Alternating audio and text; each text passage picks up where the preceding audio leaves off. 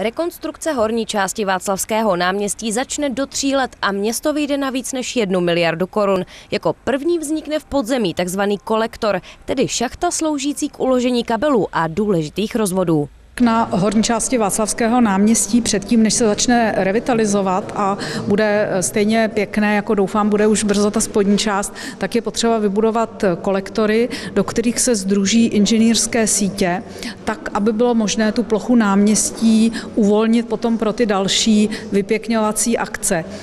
Rozhodli jsme se dneska na radě, že se e, zadají projekty. Součástí projektu bude i posunutí kanalizace a vznik nové nádrže na dešťovou vodu. Celkem vyjde stavba 1,5 kilometru dlouhého kolektoru na 800 milionů korun.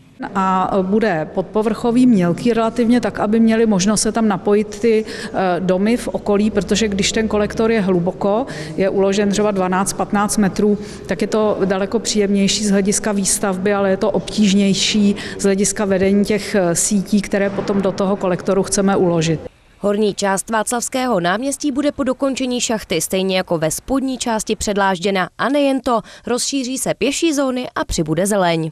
Ten známý projekt Ziegler Marány, který je, tak eh, ten v podstatě říká, že eh, nová tvář Václavského náměstí by měla být zhruba od sochy svatého Václava až po ulici na Můstku. Práce ve spodní části Václavského náměstí už začaly. Hotovo tam má být do konce roku. Na proměnu horní části si Pražané budou muset ještě počkat. Pokud půjde vše podle plánu, bude tady hotovo za 6 let. Natálie Forsterová, televize Praha.